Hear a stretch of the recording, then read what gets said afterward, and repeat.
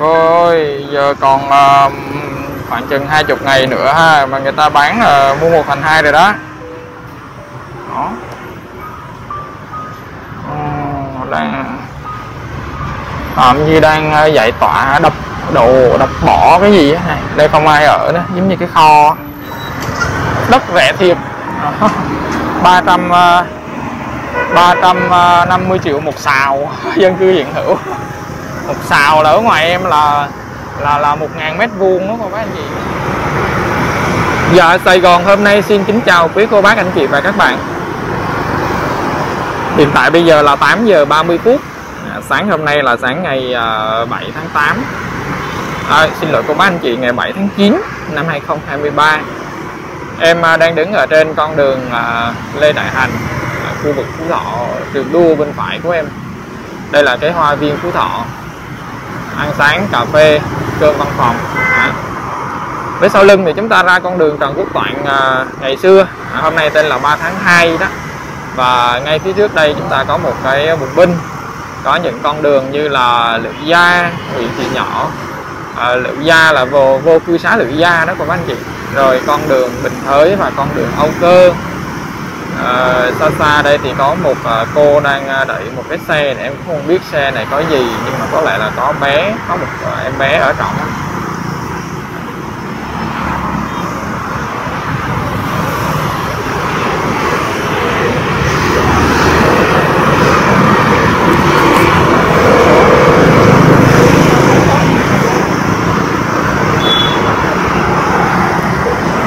Phải là em bé mà là một à, một anh khuyết tật.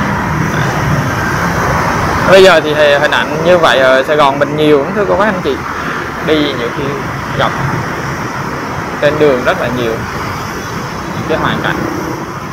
À, hôm nay có mặt ở đây thì à, em mời cô bác anh chị chúng ta chạy trên con đường à, Âu Cơ hướng đi về Bà Quẹo cô bác anh chị. Âu Cơ là nó chạy thẳng tới cái mũi tàu của Trường Chinh luôn. À, và bây giờ cũng gần tới Trung Thu rồi. À, chắc là còn gần một tháng nữa. Để em xem thử coi là Trung Thu bây giờ là à, nó rơi vào 29 tháng 9 năm 2023 à, tức là hôm nay đã là ngày à, ngày 7 ngày 7 chưa? Rồi ngày 7 rồi. 29 tức là nó còn khoảng 20 mốt hai ngày nữa thôi. Đó còn vài ba tuần nữa. Và em cũng muốn mời cô bác anh chị uh, lang thang vừa là cập nhật cái hình ảnh phố xá uh, buổi sáng ngày của đường Âu Cơ. Một mặt chúng ta cũng uh, xem thử coi cái tình hình bán bánh trung thu. Ngày hôm nay như thế nào có nhiều cửa hàng hay không?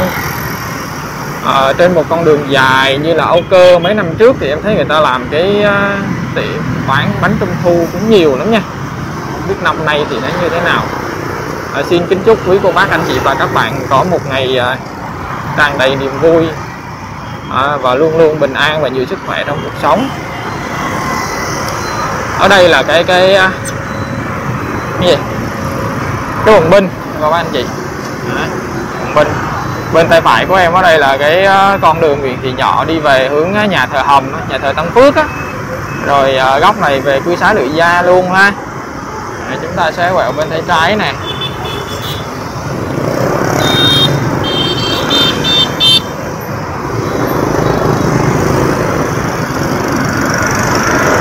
Đây là con đường Âu Cơ. Ở phía trước cô bác anh chị thấy đó là Âu Cơ. Em sẽ chạy một vòng để cô bác anh chị uh, cập nhật những con đường nha. Đó bên phải bên phải của em là đường Âu Cơ à, còn à, bên trái hoặc còn bên ở đây là chúng ta có con đường Bình Thới à, đi về à, khu vực à, Minh Phụng à, khu xóm đất đó các bác anh chị. À. còn đây là hướng đi ngược lại của Lê Đại Hành. Đó phía trước có một vài cái à, tiệm à, cái sạp bánh trung thu. À, nhưng mà chỉ có trưng bày bánh một sạp để bán thôi. Còn một sạp đồng khánh kia kìa thì để nguyên không có trưng bày. Rồi em mời cô bác anh chị à, chạy vào đường Âu Cơ nha. Đây là cái khung cảnh buổi sáng của Sài Gòn mình à, trong những cái à, ngày à, gần giữa tháng 9 à, và bây giờ thì ai cũng hối hả hết. À, hối hả để mà làm việc để mà lo toan cuộc sống cho bây giờ.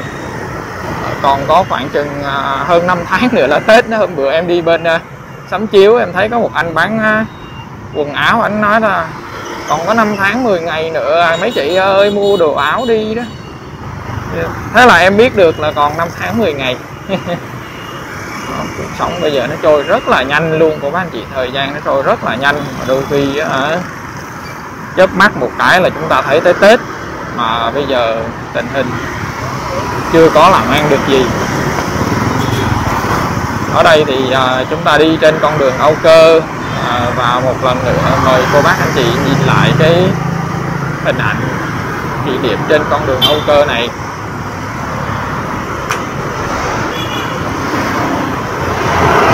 Hướng về Bào Quẹo. Em sẽ chạy chậm nhất có thể để chút xíu nữa mà lỡ có đông xe quá.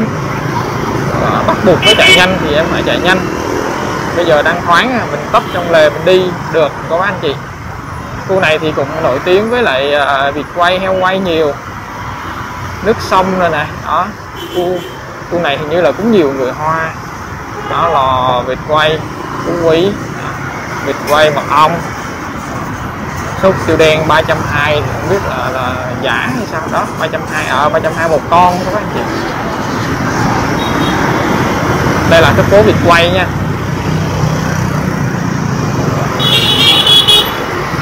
Kim ờ, kim phát hành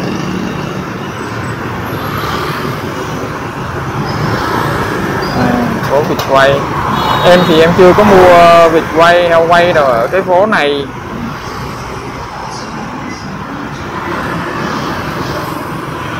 Cô bác anh chị thấy cái cuộc sống ngày thường của người ta đó.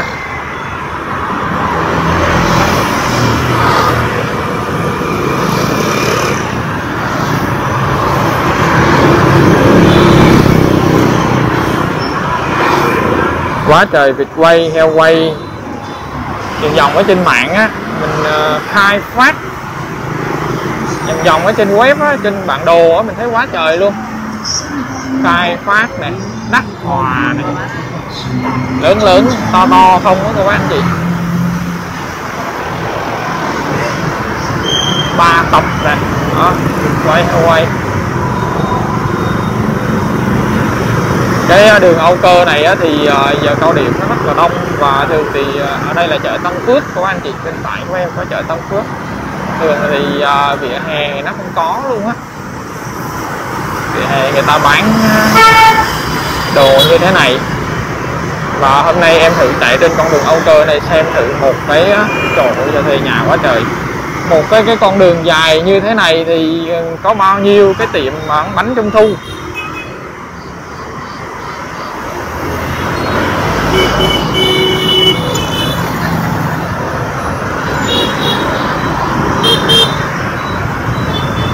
Ở đây là là thuộc uh, uh, quận Tân Bình đó cô bác anh chị.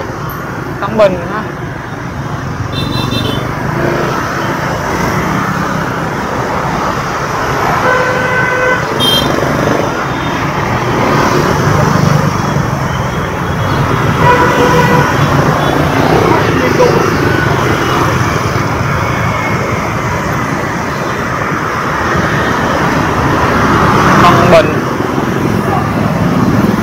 Cơ Tân Bình.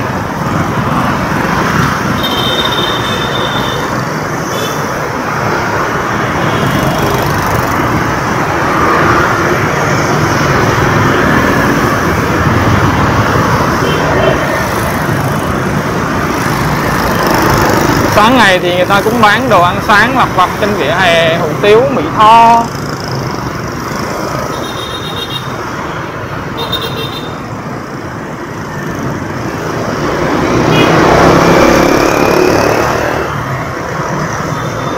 Đi sớm nó cũng đỡ các bác anh chị.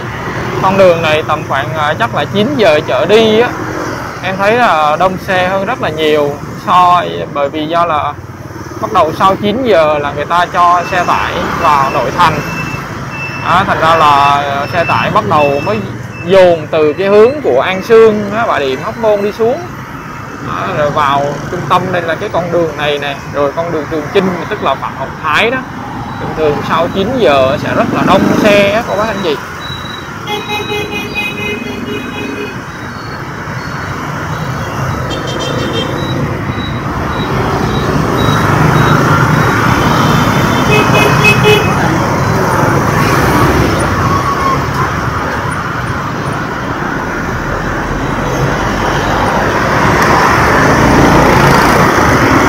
Đó, bên trái em ở đây có con đường là là đường gì đây?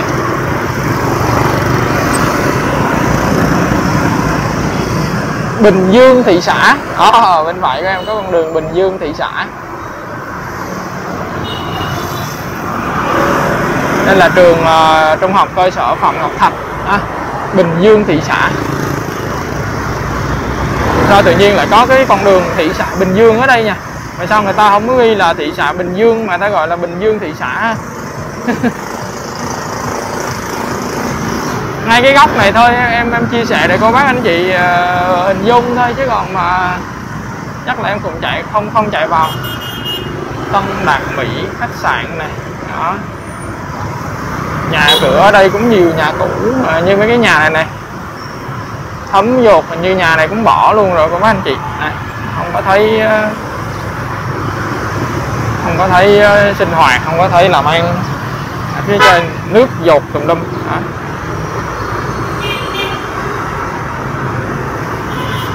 Con đường Bình Dương thị xã.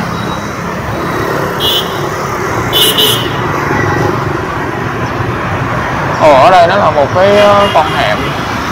Cái nhà họ xây hoa luôn.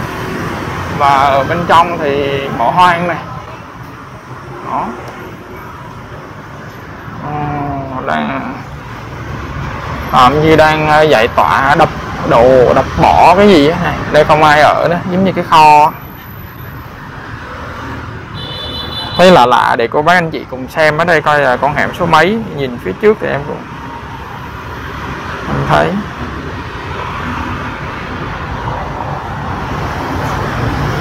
Ừ. thôi, em quay ra nha.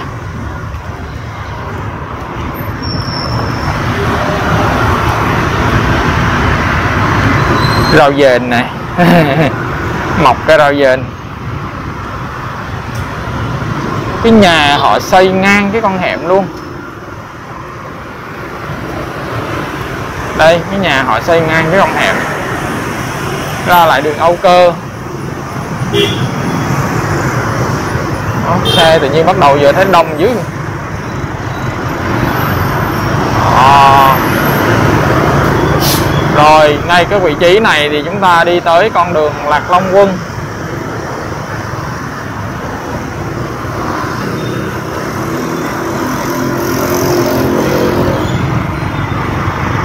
Phần Bình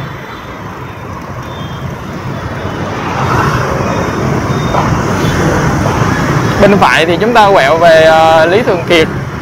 À, quẹo về Hoàng Văn Thụ Lý Thường Kiệt. Hoàng Văn Thụ là võ tánh á. Lý Thường Kiệt là Nguyễn Văn Thoại đó các bác anh chị đường Lạc Long Quân nè.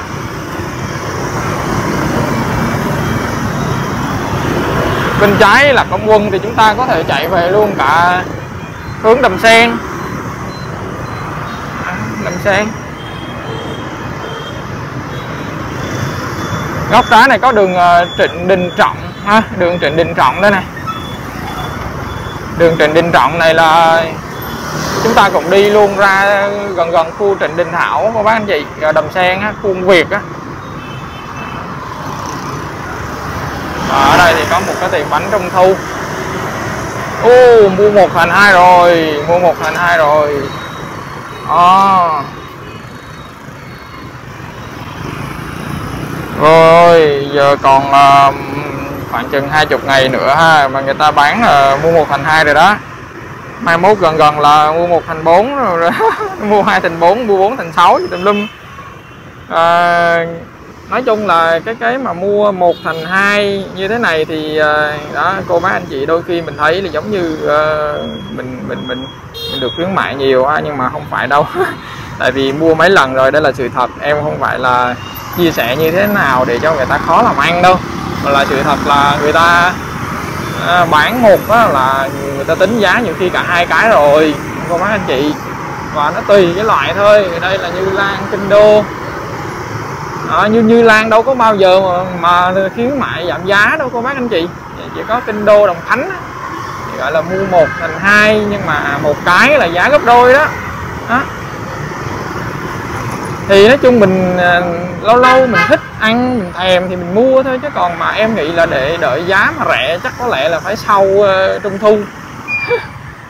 Sau trung thu giảm tùm lum hết trơn á con bác anh chị. À, bây giờ nó giống như là một cái uh, quy luật rồi. Đầu tiên vô thì hớt cái đợt khách mà à, thèm ăn trước thì giá nó cao xong rồi gần tới trung thu bắt đầu khuyến mại một thành hai rồi một hộp thành hai hộp nữa đó. Đó. Nó là như vậy và hôm nay là cô bác anh chị thấy là mua một thành hai rồi đó được khuyến mại rồi đó. Tất nhiên là nhiều khi cái tâm lý người đi mua thấy vậy cũng thích hơn là không không có được gì. Thích hơn.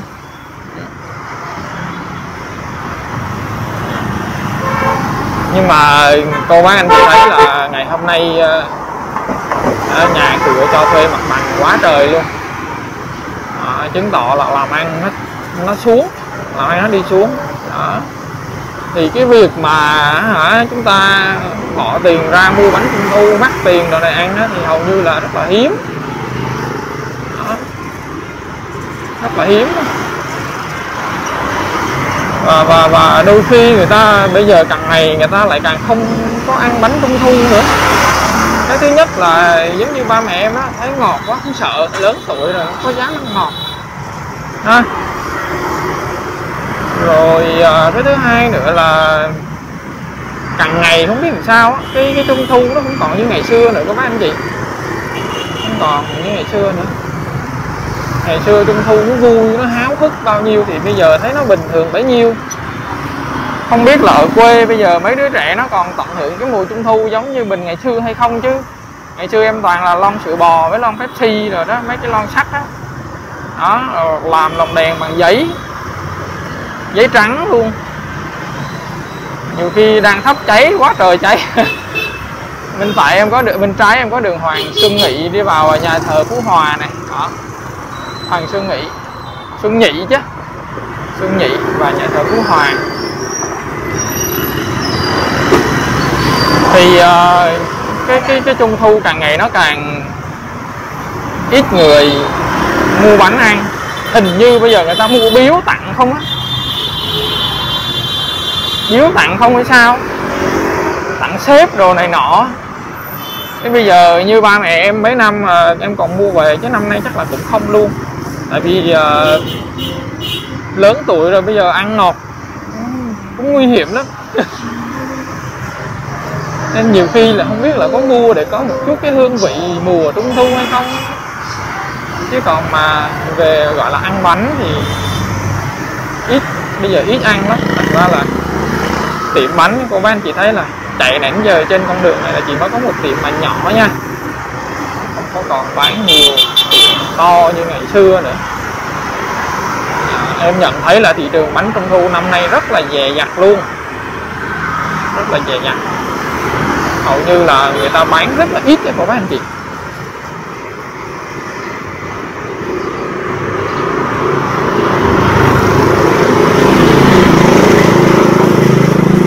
Đường à, Âu Cơ.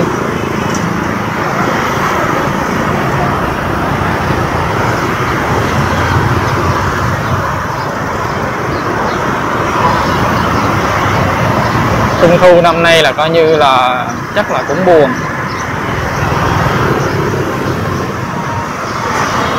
Ồ, đồ nhựa 10 ngàn tự chọn luôn kìa có bác anh chị. Cái nào cũng 10 ngàn á kiểu vậy đó. Ngon. Ghế rổ rá gì là 10 ngàn luôn.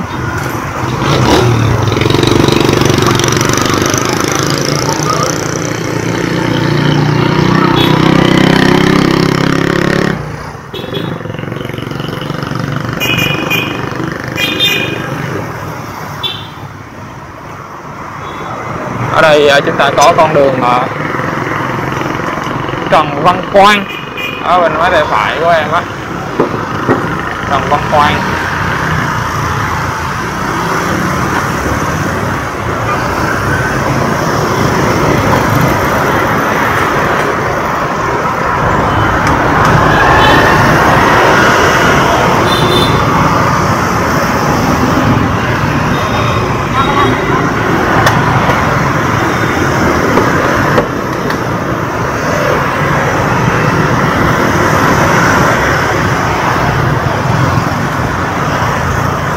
Đó hôm nào em đi cập nhật tiếp một vài con đường khác xem bánh trung thu năm nay như thế nào.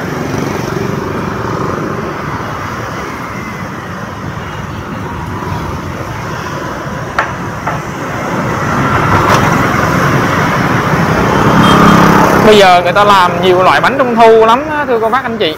Với đủ cái hình thù, nhân vị đồ khác nhau.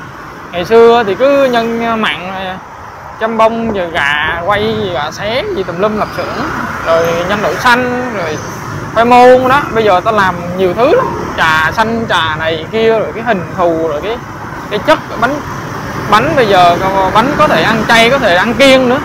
Vừa ăn chay vừa ăn kiêng. Đó, nó rất rất là là là nhiều cái cái loại bánh. Đó rồi hình thù con này con kia. À, à, lâu lắm luôn rồi mới nhìn thấy lại được cái thương hiệu của bông bạch tuyết của mấy anh chị. Đây này đó. bông bạch tuyết ha. Biết của mấy anh chị nhớ không? Chứ ngày xưa ở ngoài em có một thời hả?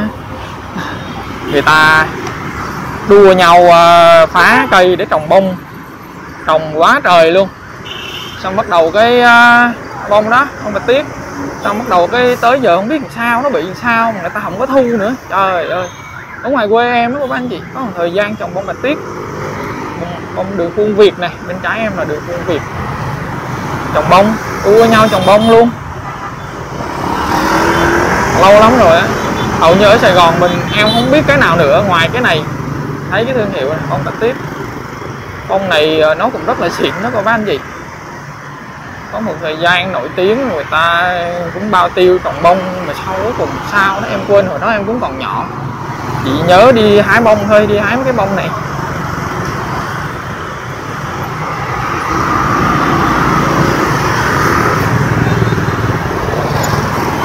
Ở mình đâu có cái gì mà mới đầu thì rầm rộ vậy, thời gian sau người ta người ta thả nổi, cái là nông dân rồi quéo hết trơn. Ngoài em thì bây giờ có cây thanh long thua rồi. Giá bây giờ hai ngàn, ba ngàn không? Trung Quốc Trung Quốc họ vô tận vườn, họ đè luôn phải cho người đi xuống tận vườn á. Rồi à, coi coi tới mùa thanh long chín một cái là ra cái giá ngàn hai ngàn bán bán thôi. Mà thanh long mà không bán bán trễ mấy ngày là coi như hư các anh chị. Thành ra là bắt buộc ờ, phải phải bán. Bây giờ làm ăn đó, nó như vậy đó. Diamond Play à, em đi ngang cái trung tâm tiệc cưới à, cứ chạy từ từ trên đường như thế này để cô bác anh chị à, cùng à, nhìn xem.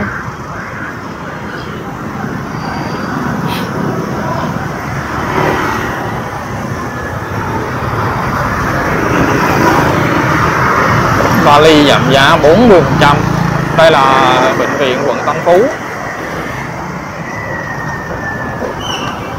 Bên máy tay trái của em á cô bác anh chị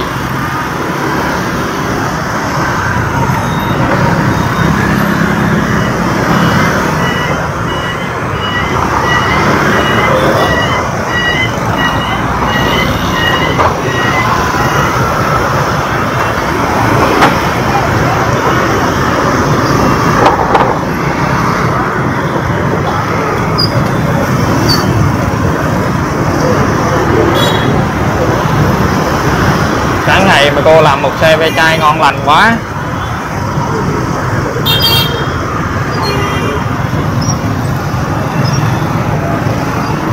Trường đại học Văn Hiến. À ở đây có trường đại học Văn Hiến đối diện với bệnh viện quận Tân Phú.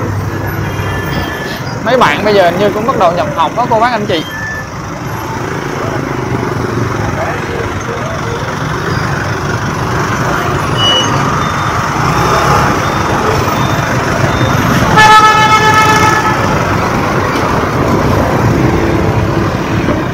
Đó, bắt đầu xe ở trên này đông ở đây là do có trường đại học với lại à, bệnh viện ha.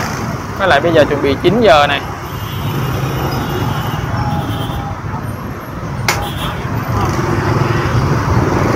Đại học Văn Hiến bên trái của em.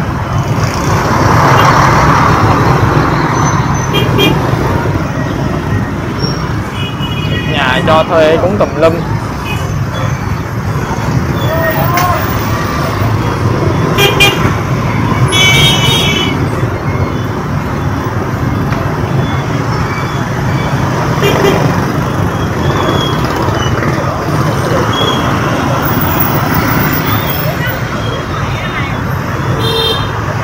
Đang uh, xét tuyển nhập học của cô bác anh chị. Đây uh, con đường đồng đen. Đồng đen à, vô đồng đen bầu cát. À, góc phải em ở đây có một cái bánh tiệm bánh kinh đô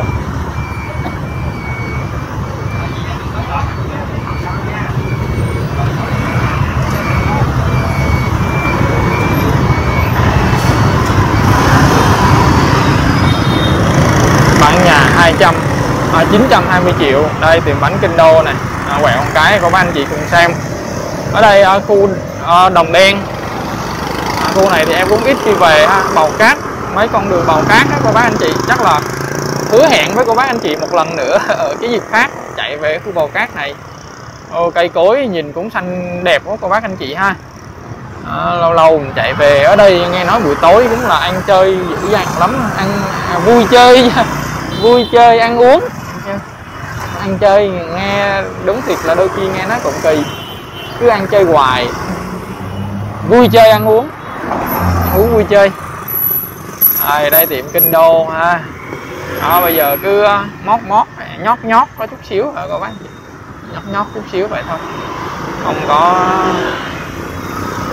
ờ, làm ăn kinh doanh bây giờ không có lớn được. Nhất là trong cái thời buổi chưa biết như thế nào như thế này đó.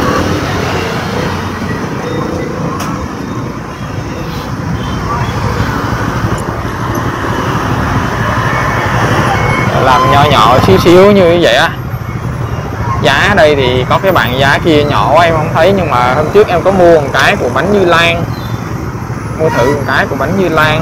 À, trước khi bà xả xanh đó trước khi bà xả xanh thèm ăn bánh trung thu. Mua một cái Như Lan. À, à, à, nhỏ nhỏ thôi và hết khoảng trăm rưỡi các anh chị. Thôi cũng đúng là hàng của Như Lan thì nói chung là là mua biếu tặng thì nó cũng sang này ăn thì nó cũng không biết cô bác anh chị thấy như thế nào. Em chỉ thích ăn ăn à, em chỉ thích ăn nhân chay à, nhân đậu xanh rồi đó.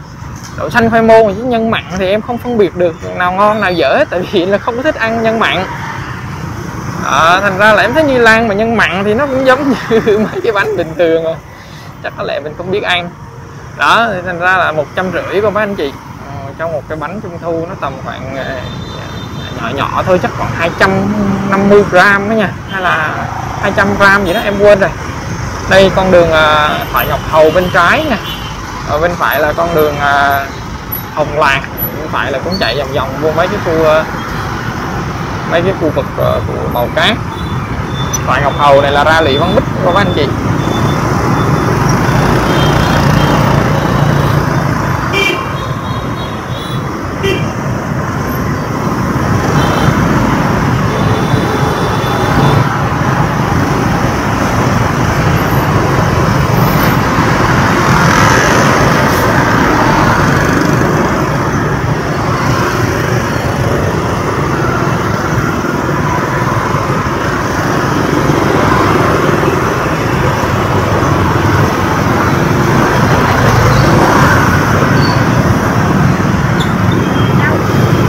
Dâu 60 ngàn một ký. Nhà cho thuê tùm lum bên trái. Đường này thì nói chung cũng không có quá nhiều nhà cho thuê. Đây con đường Tân Thành này. Tân Thành này không phải là Tân Thành bên mé quận 5 quận 6 đâu. À, quận 5 quận 11 đó. Tân Thành này là ở Tân Bình.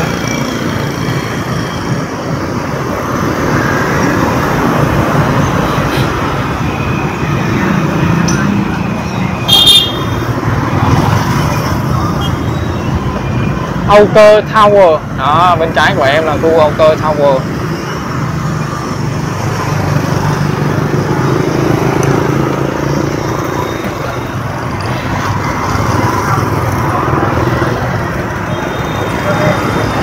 Ở đây là con đường ờ, bầu cát. Đó, bầu cát mấy này bầu cát 8 bầu cát 8 của các anh chị. Của bầu cát này. À bầu cát Tân Bình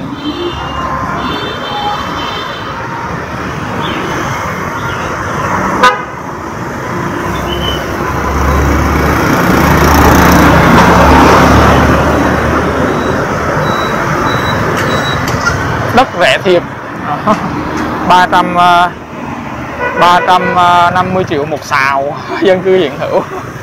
Một xào là ở ngoài em là là là một ngàn mét vuông đó các bác anh chị. Ở ngoài Bình Thuận em á một xào là một ngàn mét vuông á. Một xào mà ở miền Tây thì như ta gọi là một công. À, nhưng mà một công ở miền Tây thì hình như hình như là không tới ngàn mét vuông đâu. Đó nhà cho thuê này đó nhà cho thuê này bánh thì uh, mua một tặng hai rồi. À, mua một tặng một rồi nhà ở đất thì bán ba trăm rưỡi sao luôn? Không biết ở đâu em không biết nha. Nhà cửa thì ngày hôm nay thì nó như vậy thôi. Trong cái ờ, thời buổi kinh tế khó khăn.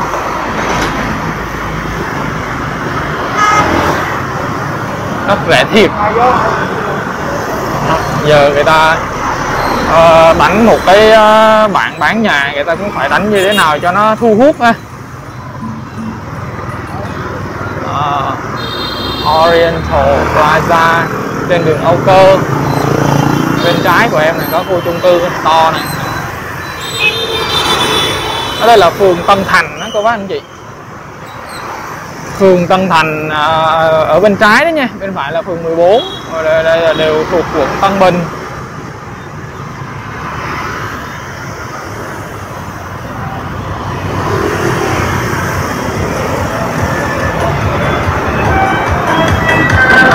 Cái hình ảnh trong cái buổi sáng rong chơi, một cái buổi sáng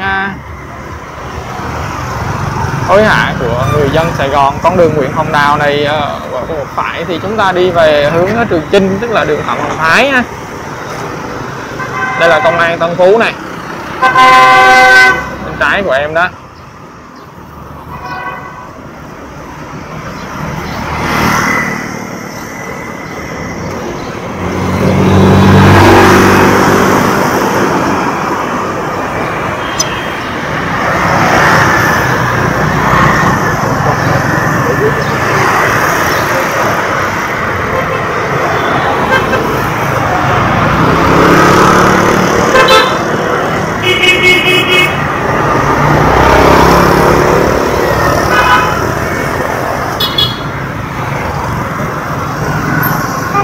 Vẫn về cho thuê nhà luôn rồi.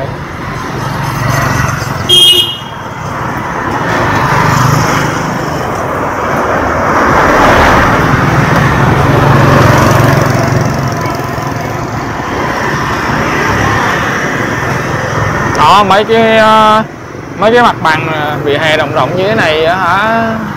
Không không thấy ai thuê mướn, bán bánh trung thu rồi nguyên con đường. Có một vài chỗ bán à nãy giờ có hai chỗ của mấy anh chị mà rất là nhỏ nha.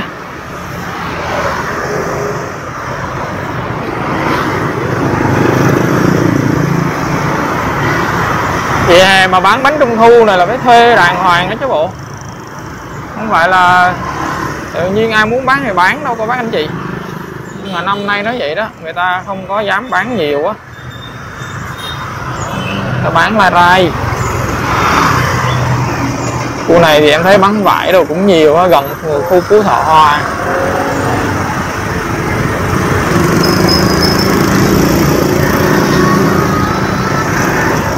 Đây là con đường trương công định nè. Quẹo phải là qua trường chinh, phạm hồng thái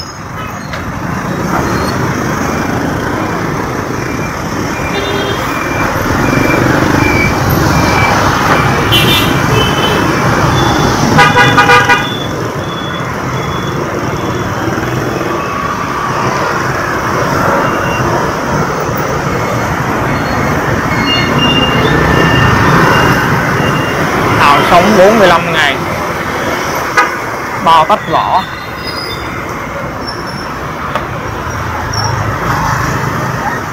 Chỗ này là công an. Đội cảnh sát phòng cháy chữa cháy cứu hỏa ha. Khu vực cứu hỏa. này.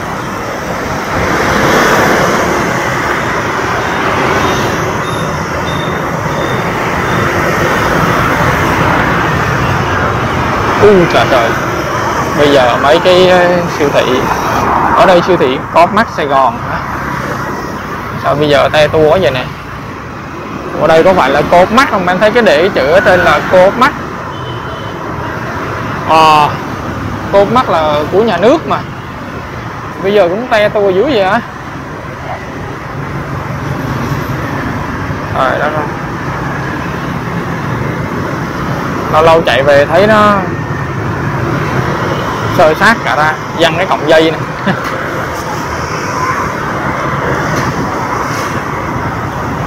wow. Đây đi vô được mà. Một chú đang ngủ.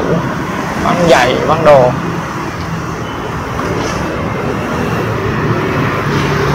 Nhìn nó tơi tả tả tơi. À ao chan. Khu vực ao chan đó này ao chan thì người ta bỏ lâu rồi.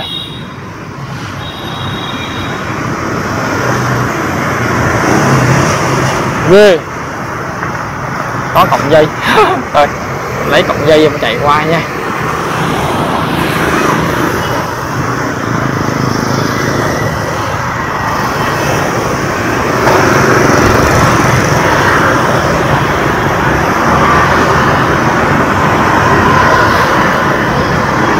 Đó, lâu lâu đi một chút như vậy cô bác anh chị à, thấy cái cạnh cái cuộc sống của người dân mình ở đây. Ở bên tay phải của em là qua con đường à, Lý Văn Bích như là hương lộ 14 thì phải. Lý Văn Bích à, đi thẳng ở đây chúng ta lên cái mũi tàu hay Trường Trinh với Âu Cơ của Bảo Quẹo đó. Bên trái em là con đường lị Văn Bích. À, đi thẳng này chúng ta đi lên à, ngay cái vị trí của Trường Chinh Bà Quẹo đường Phạm Hồng Thái đó ở bên tay phải của em ở đây là con đường con đường gì ha? Ngay cái góc này tự nhiên cái em lại à, không có nhớ mà con đường nó bị che mất bởi cái à, tạm trạm gác của cảnh sát giao thông đó. Không có nhớ nữa. Ờ, ở đây thì em xin kính chúc à, quý cô bác anh chị và các bạn một ngày tràn đầy niềm vui bình an và thật là nhiều sức khỏe. Em quẹo cái đây coi nó là con đường gì. À, con đường ba vân. Rồi ba vân đó. qua trường chinh đó cô bác anh chị phạm hồng thái năm xưa đó ngay khu bà quẹo. À, em ờ, tạm dừng các clip ở đây. Hẹn gặp lại quý cô bác anh chị và các bạn ở các clip sau trên kênh sài gòn hôm nay. Bye bye. Bà vân tân bình.